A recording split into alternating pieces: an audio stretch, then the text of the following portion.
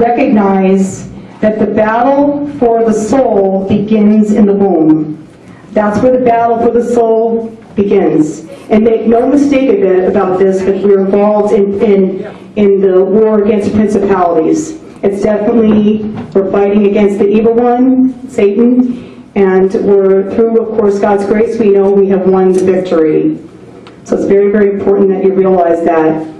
And we witness that every day. When we are there, it's like we are on Calvary, watching the women tragically go in, one after the other. But the great news is that we are there 52 weeks out of the year in all kinds of weather. Again, reaching out to those moms and letting them know the truth about abortion, letting them know we're going to do whatever it takes uh, to save their precious baby's life. And I'm excited to share with you that we have two mothers right here that are with us tonight. Um, they both chose life. We have uh, Akia and we also have Cheryl Lynn. And um, excited to tell you that um, Akia already knows that she's having a baby girl, and she's already given her name. It's Isabella. And is that beautiful? And also uh, Cheryl Lynn is having twins. Praise God, yes. And one of the things that we felt was so important um, is that being out in front of the abortion facility, we realized that women were going inside um, also not just to have pregnancy tests, but also have to have ultrasounds. But they were using the ultrasound not, of course, to save the baby's life, as you know, but to kill it, to determine the type of killing that they were going to do, the type of method that they were going to do. And so I knew that we had to offer better. I knew that we had to, to do whatever it takes to serve that mother and to show her her baby in the womb. And that's why uh, two years ago we started the Saving Sacred Lives campaign so that we were to, to raise the necessary money to buy an ultrasound machine. And if you can remember, not just it was about one year ago that we had the ultrasound machine at St. Gerard's on 22 Maple Avenue. It is our ultrasound service center, and that day we were blessed to have Archbishop Mansell come and be there for the blessing. And also, we were also very blessed and honored to have Carl Anderson, the Supreme Knight for the Knights of Columbus. So it was a beautiful, beautiful day, but also it speaks to that we fulfilled the mission, that we're fulfilling this mission, that we, we, we set out to set that campaign and we fulfilled it. And so now, through the grace of God, we are doing these ultrasound services. We actually officially got started with the ultrasound services on April the 26th, 2011, approximately eight or nine months ago. And it's just been a true, true blessing to be able to do that. And one of the reasons is, is because when women are going inside the abortion facility, they are so overwhelmed, so overwhelmed with so many problems, pressures, boyfriends, mothers. Even yesterday I met a woman who told me that her mother said, just go over there and get rid of it. She's 19 years old, and her baby was 19 weeks in the womb. She was having a two-day procedure. So it was horrific. But just go get rid of it. So these messages are bombarding these women. And what it's doing to them, it's, it's severing their maternal instincts. Their instincts for to be a mother is severed in half. And all of a sudden it creates a war between the mother and the child. And what St. Gerard's is trying to do is to stop that. And by offering these ultrasound services, what we happen to do is to see that these mothers can see their precious baby in the womb, that they're reconnecting with their maternal instinct, that they know that God has called them to be a mother. And that's awesome. That's awesome. That's something that we can rejoice for because we know that God has a plan for that mother and that child. And every baby is made in God's image and likeness. And so that beautiful child and mother is able to reestablish her maternal instinct, recognizing that she is the protector of that baby in the womb, just like the Blessed Mother was the protector of Jesus. So it's been very awesome to see that. And we've done 117 scans. We've had 38 patients that have come to the program. We are blessed to have Dr. Judy Mascolo. She is our medical director, and she's been coming every Tuesday to serve at St. Gerard's as a volunteer, not to be paid. And also we have, we're also blessed to have two Catholic nurses They've gone through the certification and the training to be able to provide limited obstetrical ultrasound services. And essentially what I mean by that is that our, our purposes are three. One, we identify that there is a baby in uterine. Two, we are looking for the gestational age. How many weeks is the baby? Three, we are identifying that there is actually a heartbeat. So those are critical purposes. But again, we were able to accomplish this great goal by showing these women their, their precious child. And so we're so happy that we're doing this. We also have been blessed to have an ultrasonographer. We actually, um, this woman has been volunteering ever since July. She's a diagnostic registered ultrasonographer. And just recently, the board decided that we wanted to hire her for four hours per week so we could secure her position because she's definitely given us great insight into being able to, you know, uh, uh, locate the baby in the womb and be able to do this in a more effective fashion. So we thank God for her. But that's not enough. And actually, um, what's happening sort of across the nation, which I actually do not support, is that many pregnancy centers are becoming a medical model. Now, St. Gerard's is, in a sense, a non-profit medical facility. But what's happening across the country is pregnancy centers are just doing that. And they're not providing any other supports for women. So if women need help, it's like, oh, well, we show up their baby in the womb, and then we say, God bless you. And to me, I think that that's terrible. I think that that's terrible because, you know, the statistics state that 80% of the women, when they see their baby in the womb, they will choose life. And we know that. But there is that 20% that 20% that may see their baby in the womb, but because life pressures are so great, that will drive them right over to, to have an abortion. And, and that's what we want. We want 100%. I'm going to say every baby we can, every soul possible. So we decided that, or I believed very strongly, that we need to expand this program. And so therefore, we have a second location in Hartford. It's on 59 Eaton Street. Again, we were blessed by the Knights of Columbus to have that. And it's, um, it's an old, a former convent of St. Luke's that we renovated. And there we provide all the support services. But it's very important to know that our Catholic identity is very critical to St. Gerard's. It's not just a name. It's not just something, we live that identity. Okay, because our goal is in, to establish in the mindset of every mother that abortion is an unthinkable reality and so is contraception, and so is having sex outside of marriage. That that is our goal, to establish that. That these women can recognize that they are dignity, dignity as a woman and dignity as a mother. And it's our effort to reestablish that, to give them back that dignity, and recognize that it came from God, and that not one person can take it away. So at St. Gerard's Support Services, we established that mindset. And we have a chastity program run by Mary Ives, she's our, our chastity coordinator, where we impart that message. We want to build these women up and help them to know that they no longer can be an object. Because essentially that's what contraception does. It's the objectification of women, and we've got to stop it. We've got to stop it. We've got to raise their dignity and recognize that they can live a chaste life, that they can live that purity and holiness that God intended for them. And so that's our effort. Whether the girls listen to the message and actually live it, that's not our responsibility. It's our responsibility to give that truth. It's our responsibility to show that. And actually, I'm excited to tell you that that class of chastity is packed. We've had over 125 women participate in that class, and actually what we've done is we've tied it to getting support services. So if the girls want anything from the program, whether it's support for rent or, for, or a, a, stroller or, uh, or diapers or formula or clothing or anything they're coming for, they must be going to that chastity program to get that message. And we believe that, that that is the way that they'll internalize that message. Plus, we can really know that they're going forward. Again, we can't be responsible whether they do fulfill the message or not. But it is our, our, our responsibility to give the truth. And that's what St. Gerard's is all about. We also know that in order to make abortion an unthinkable reality as well as contraception, that we must help these girls, at least invite them to know Jesus Christ. And so what we've done is we started a class at St. Gerard's Support Service Center on understanding the Catholic faith. And actually, Christina Berger is the instructor of that class.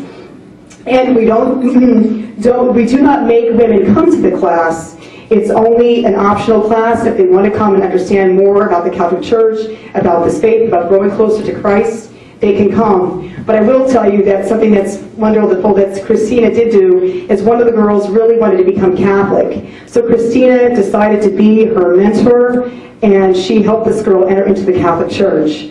And uh, last year, that girl entered into the Catholic Church during Easter and uh, was baptized as Catholic. Praise God. Thank you, Christina. And the other ways in which we also, again, trying to help the girls grow closer to Christ, because I truly believe that once Jesus is in the heart of these women, there is no way they can think about abortion again. And I don't care about laws and all these other things. It's the bottom line is about Jesus Christ. That's how we're going to win the battle, is bringing to the girls to, to, to God. And so one of the ways in which we um, do that is we have a baptism preparation program. And Brian Hartley is our coordinator. And so on a weekly basis, the girls who would like to have their children baptized come, they meet with Brian, they attend these classes, and um, we're excited to say that more than 50 children have become baptized. Us, lots of other girls who are very interested in, in having their children become baptized. So again, it's taking it to another level. It's not just about saving lives, it's about the souls. Same thing also, um, tonight, uh, Barbara uh, Soloway is here. Barbara is the coordinator of our other program that we have called, it's about post-abortion healing. And that's very, very critical because the statistics state that 50% of the women who abort their babies go back again. They go back again because what the research says is it's called a replacement pregnancy. That the girls, in fact, miss this precious baby in the womb. They miss, miss the growing child. So they go back again. They find themselves in the same condemning situations. So what we do is we want the girls to be healed because we do want, we do not want another abortion to occur. We want the girls to have peace in their heart and peace with God and reestablish their relationship with Jesus and know that abortion is, is a forgivable sin. It is a forgivable sin, and we all know that. Because the one thing we know about Jesus is the divine mercy. And what he says in the diary is that his mercy is so great that no matter what the evil is, it can never, his mercy can never be outdone. Always will triumph over whatever the evil is.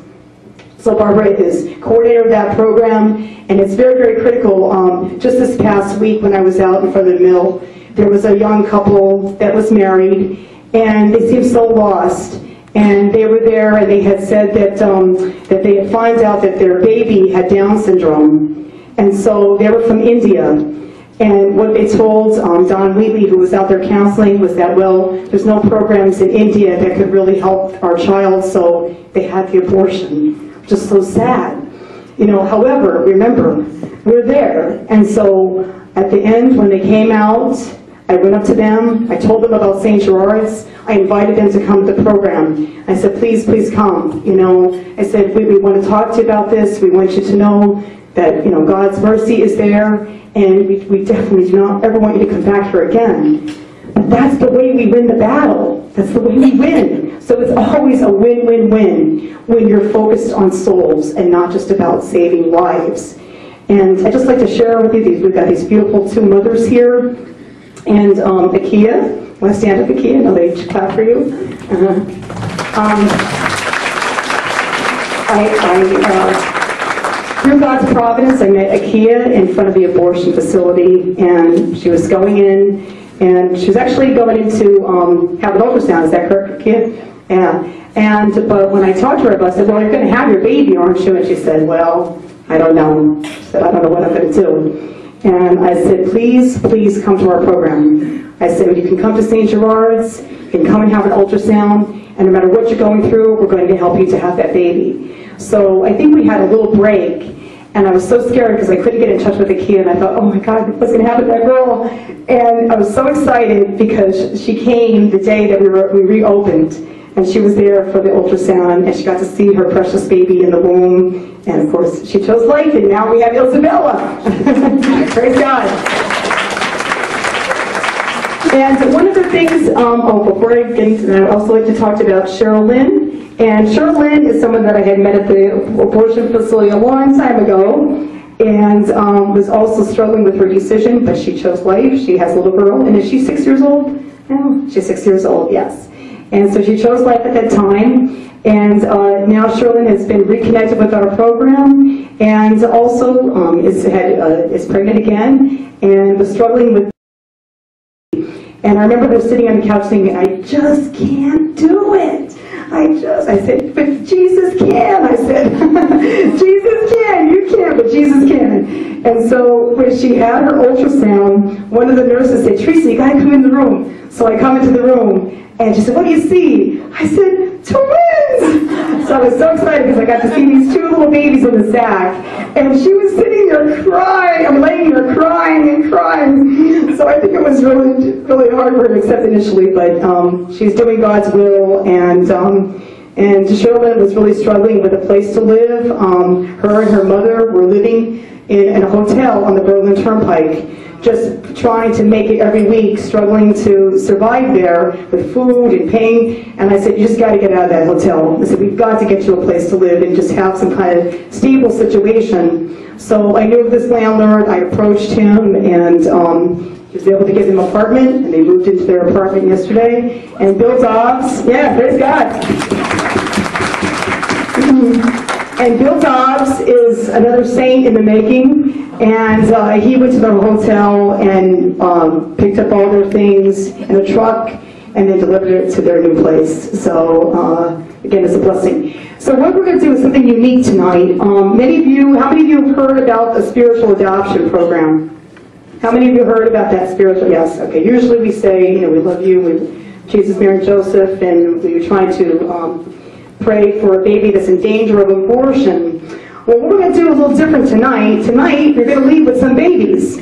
And um, we're starting our St. Gerard Spiritual Adoption Program. And how we're doing that is we have these beautiful moms who chose life. And what we've done is we have pictures that you can get of their ultrasound. And there underneath is a prayer below that to pray for the mother and her unborn child. And so we're asking you to spiritually adopt these mothers and these babies and, and pray for them. You know, it's all about the prayers. And so you can actually, when you think about St. Gerard's, you can be thinking about these moms and babies. And um, Sherry June, where Sherry, I don't know where Sherry is. Sherry, hi. Sherry is our new volunteer coordinator. Hey, Sherry. And um, doing an awesome job, and she, we were thinking about actually having you guys email us if you're interested in knowing how the babies are doing, or to keep up their progress and find out how the mom is, is, is doing, so so we can kind of keep a, keep it going and keep, it, keep a connection. And so we'll have an email set up that you can you know, send and ask questions and uh, really be involved in the process. Um, one of the things that we have to do with the whole abortion movement is, is take away this, it's so depersonalized. We hear statistics. 53 million ba um, babies are aborted, but we, we want to change that. This is about a person. It's about a person. We know that these children are a person right from the point of conception. And there's even a movement now, a personhood movement, to identify that every person from the point of conception is a separate, unique individual. And that's a critical battle, and I pray that that wins because that would completely stop um, this whole evil across the whole country and across the world. So please take one of these tonight. Um, keep these moms and unborn children in your prayers. And I just want to thank all of you for being here tonight. Um, it's really, you're really a gift. Uh, we, we, we're here because, of course, we, we want to um, try to get the support that we need but we need your prayers. You know, we, we need people like you involved in this work. I mean, the money is important, but it's not just that. It's, it's people like you, the prayers, you know, knowing that we're fulfilling God's will. And, and my hope for this campaign is that if this campaign leads to, by receiving the support, if this leads to more babies' lives saved, if this leads to, you know, more women living a chaste life, if this leads to more women repenting from the sin of abortion, if this leads to more children getting their baptized in the, uh, getting their children baptized in the church, if this leads to more children coming to Christ, then I want this campaign to be successful. Thank you, and God bless you.